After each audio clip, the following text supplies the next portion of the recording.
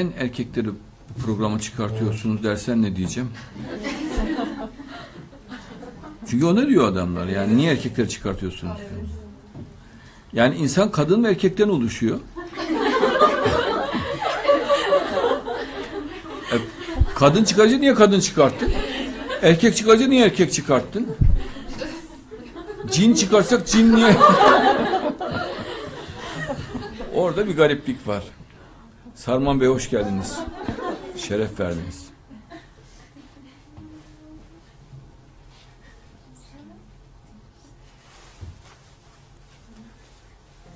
Ben dünyalar tatlısını bir daha göreyim. E, dini bir program yaparken bu şekilde kadınları neden programa çıkartıyorsunuz? E, Dini program olmazsa kadınlar olabilir diyor anladığım kadarıyla değil mi?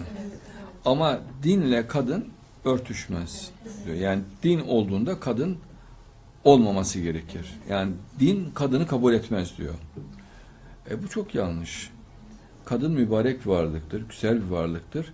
Dinin olduğu her yerde kadın vardır. E, din kadını dışlamaz. Kadın dinle zıt bir varlık değildir. Dinle iç içe olan bir varlıktır.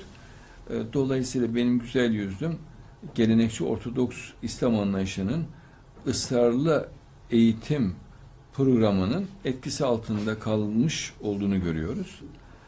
E, bu yanlış. E, inandığını da söylemiyor zaten benim gördüğüm. Yani bu böyledir diye inanacağını zannetmiyorum. E, çünkü dini program Sarman güle güle bir tane. Yakalanmış yine. Kendisini temizliyordu yine.